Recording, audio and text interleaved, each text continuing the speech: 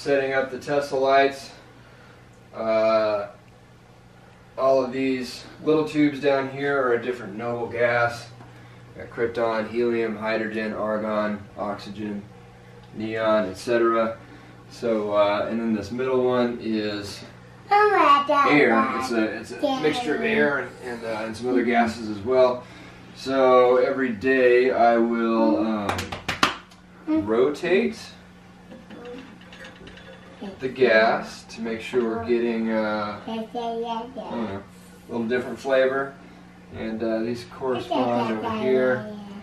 So today we're on hydrogen, hydrogen, right? Yep. And then I'll also rotate these big ones. There's uh, there's two different sizes, and that means they produce slightly different frequencies.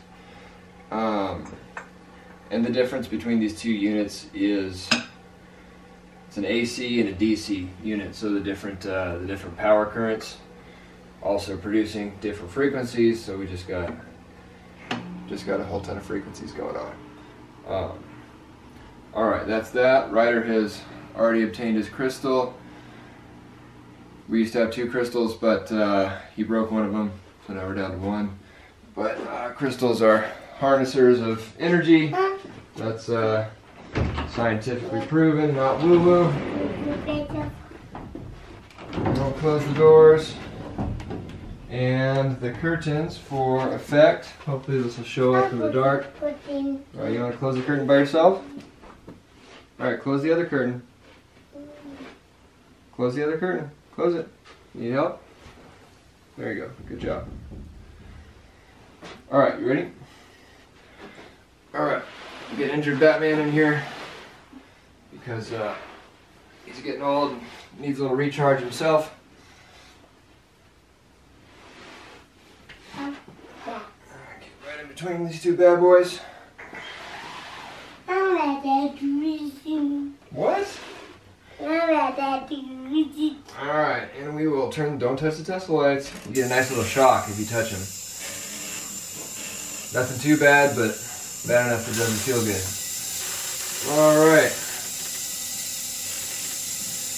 And so we'll sit in here for uh, 10 to 15 minutes, a couple times a day. We sit in between them uh, in the mornings and then in the afternoons uh, with Ryder's back facing the DC unit. DC, right? Yeah.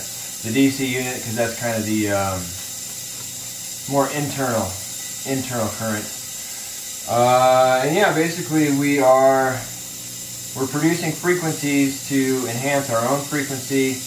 Basically things that are alive and vibrant. like Ryder here are, uh, are vibrating at very high frequencies and things that are, you know, either diseased, like diseases themselves, or, uh, or organisms vulnerable to disease are vibrating at, at lower frequencies. So yeah, there's, there's actually been a lot of research on it. A, a couple people have proven exactly that, that uh, healthy, vibrant, high frequency, low disease, low frequency. And so yeah, basically that's what we're doing here with the Tesla lights is we're producing high vibrations and, uh, and uh, you know, this is based off of Tesla's original work uh, was picked up on by a guy named Minkowski and, uh, and he was able to figure out how to basically make these devices um, produce the frequencies in such a way that that uh, could be absorbed by living organisms such as uh, such as me and Ryder and Batman here. So if you are interested, you can find out more about Tesla lights uh, on the website of the manufacturer, which is TeslaEnergyLights.com. And he has a list of all of his resellers, so you can. They're, they're not cheap. We actually got these donated to us which was uh, which was very very nice. I still can't believe we got these donated to us. But there there's more information. There's a list of his resellers, and and they do sell um, used demo units on the site as well for uh, for less if you're interested. So check out TeslaEnergyLights.com for more info on these bad boys.